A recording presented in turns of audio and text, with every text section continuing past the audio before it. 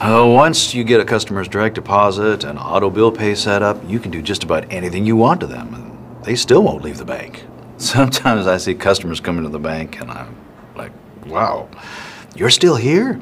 Unlike a bank, America First is a not for profit owned by its members with no or low fees, lower rates on loans, and higher earnings on deposits. And joining is easy, refreshingly unbank like. Become an America First member today.